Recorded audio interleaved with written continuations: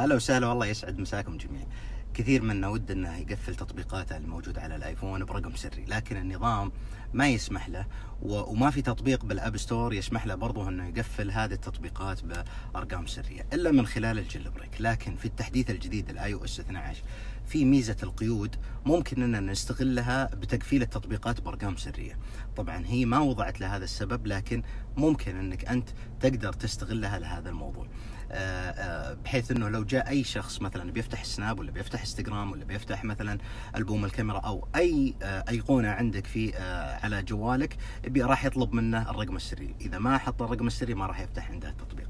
نبي نشوف انه كيف ممكن نستغل هذه الميزة ونركبها على أجهزتنا. علشان تستغل ميزة القيود باقفال التطبيقات برقم سري تدخل على الإعدادات وبعدين تروح على مدة استخدام الجهاز وتنزل لحد ما يجيك استخدام رمز آه، دخول مدة استخدام الجهاز. تضغط هنا وتحط لك مثلا أي رقم بالشكل هذا. أي رقم. الآن أنت فعلت آه، رقم سري. حلو؟ كذا ندخل على خيار وقت التوقف ونفعل هذا الخيار. وبيظهر عندنا بدء وإنهاء. نحاول نخليها 24 ساعة إلا دقيقة. يعني لو لاحظنا الآن البدء الساعة 10 المساء وإنهاء الساعة 9 و59 دقيقة. يعني الفرق بينهم آه، دقيقة. بعد كذا تطلع وتختار التطبيقات اللي أنت بتقفلها. نروح ندخل على السماح دائما. هذه آه، القائمة اللي موجودة هنا بالأعلى. هذه كلها ما راح تتكفل بأرقام سرية والقائمة الموجودة هذه كلها راح تتكفل بأرقام سرية. يعني على سبيل المثال أنا أبغى ال- السناب شات يتكفل برقم سري أسوي له إزالة من القائمة المسموح بها هنا بتجي بتنزل هنا بالأسفل. لو لاحظنا الآن مثلا تطبيق آه، ال- ال- السناب بنظلل عليه وأنه لازم الدخول به برقم سري.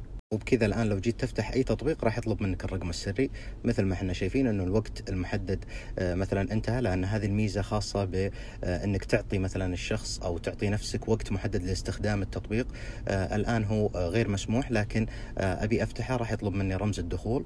بحط رمز الدخول اللي أنا آه، سويته في آه، الإعدادات وبقول له مثلا هل تبغى طوال اليوم أو لمدة ساعة أو لمدة 15 دقيقة؟ مثلا أنا بستخدمه لمدة 15 دقيقة وراح يفتح.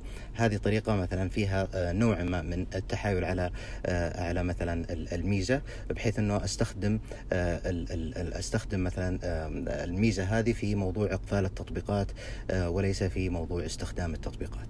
ال- المهم إنك وقت ما تحط مثلا وقت التوقف هنا تكون مفعل خيار حظر أثناء وقت التوقف وبالتالي راح يطلب منك رقم السري عند فتح أي تطبيق. أتمنى إن شاء الله إن هالميزة هذه تفيدكم بإذن الله.